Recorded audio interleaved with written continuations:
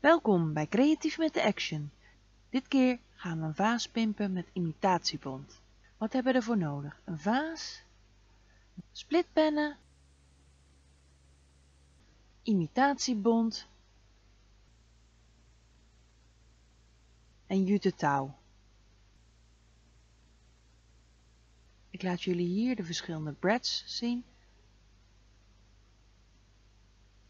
Ze zijn er in heel veel verschillende variaties. Er zitten vast wel splitpennen bij die jij ook leuk vindt. Het is ontzettend leuk om te zien dat mijn kanaal in een maand tijd al 10.000 views had.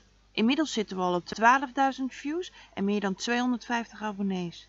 Dit stimuleert mij wel om nog meer leuke filmpjes voor jullie te maken. Met de duizendste action die gisteren in Gorkum geopend is, lukt het vast wel. Voor mijn abonnees ga ik binnenkort een actie doen. Nog niet geabonneerd? Doe dit dan snel, dan mis je de actie niet. Wat heb je ervoor nodig? Eigenlijk alleen een schaar zoals ik hem gemaakt heb. Wil je hem permanent maken, dan kun je hem ook met een lijmpistool vastmaken.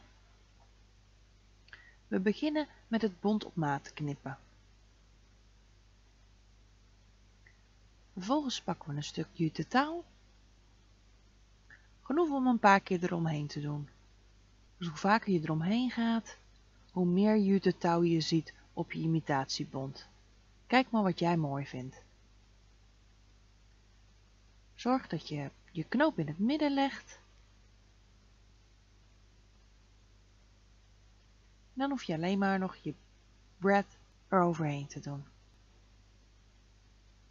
Kijk hoe leuk die al is. Hier heb ik even wat nepbloemen erin, want op zijn zij en vaas gaat niet goed. Je kunt het imitatiebond in het midden laten, maar je kunt hem ook naar beneden schuiven. Dit is een hele simpele manier om het even wat leuker te maken. En als je hem gewoon niet vastlijmt, kun je er gewoon iets anders van maken. Dan kun je er ook voor kiezen om de vaas gewoon normaal neer te zetten. Ik vind het erg leuk om deze video's voor jullie te maken. Als je je abonneert op mijn YouTube kanaal, mis je niks. Tot het volgende filmpje van Creatief met de Action.